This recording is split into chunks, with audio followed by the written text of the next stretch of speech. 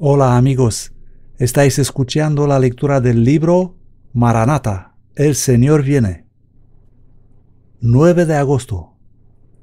Vencer los malos hábitos. Texto bíblico. Consérvate puro. 1 Timoteo 5:22.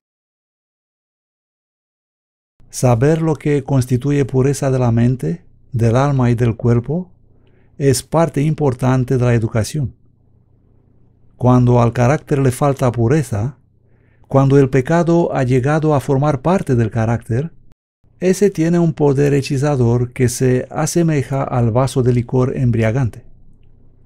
El poder del dominio propio y la razón están sujetos a prácticas que contaminan el ser entero. Y si se continúa con esas costumbres pecaminosas, el cerebro es debilitado y enfermado y pierde su equilibrio. Esas personas son una maldición para sí mismos y para los que se relacionan de alguna manera con ellos. Los malos hábitos se forman más fácilmente que los buenos, y los malos hábitos son más difíciles de abandonar.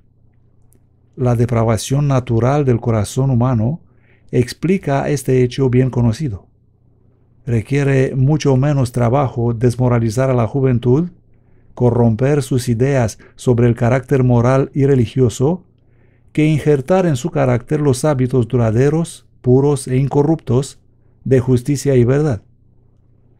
La complacencia propia, el amor a los placeres, la enemistad, el orgullo, la exaltación personal, la envidia, los celos, se desarrollarán espontáneamente, sin ejemplo ni enseñanza. En nuestra actual situación de seres caídos, todo lo que tenemos que hacer es abandonar la mente y el carácter a sus tendencias naturales. En el mundo natural, si dejáis un campo abandonado, lo veréis cubrirse de espinas y cardos. Pero para que produzca preciosa semilla o hermosas flores, hay que poner cuidado y labor incesante. Os presento ahora la necesidad de resistir constantemente al mal, dice la sierva del Señor. Todo el cielo está interesado en los hombres y las mujeres, a quienes Dios ha valorado tanto que entregó a su Hijo amado a la muerte para redimirlos. Ningún otro ser creado por Dios es capaz de lograr tal grado de perfeccionamiento, de refinamiento, de nobleza como el hombre. Pero cuando el ser humano es mutilado por sus degradantes pasiones, sumergido en el vicio, ¿qué espécimen tiene Dios que contemplar? El hombre no alcanza a comprender lo que puede ser y lo que puede llegar a ser.